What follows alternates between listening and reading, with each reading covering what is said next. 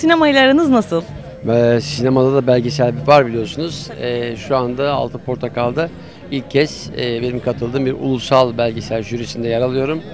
Ee, daha önce de değişik jürilerde yer almıştım ama Antalya'ya geliş amacım bugüne kadar hep farklı şeylerdi. Röportajlarda, belgesellerde.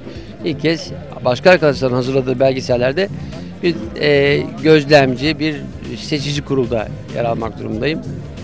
Peki içinde olmak başka bir şey, jüri olmak daha mı zor acaba? Şimdi olgunlaşma sürecine bağlı olan bir şey. Şu ana kadar hep yapan insandık.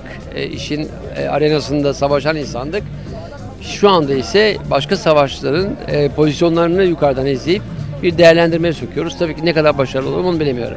Peki böyle şey olacak mı jüri esna yani elemeler esnasında? Sonuçta siz de bu işin içinde olduğunuz için ne kadar zor olduğunu işte belgesel çekmenin ne kadar yorucu bir şey olduğunu biliyorsunuz. Birazcık hani gönlünüz acıyacak mı?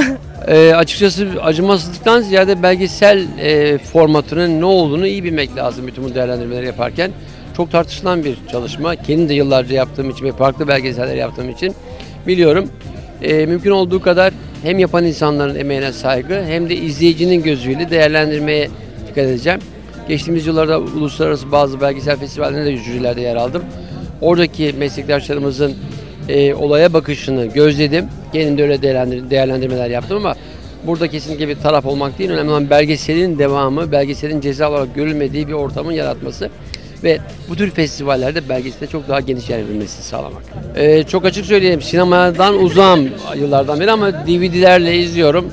Ee, bir Kanlı Elmas'tı benim en son sevdiğim. Çünkü yaşadığım bir coğrafyadan bir takım olaylardı. Ee, bugün Oscar'a aday gösterilen bazı filmler, geçmişte Oscar kazanmış filmler kaçırmamaya gayret ediyorum ama gelip de muhteşem gözle diyeceğim çalışmalar henüz kafamda yok.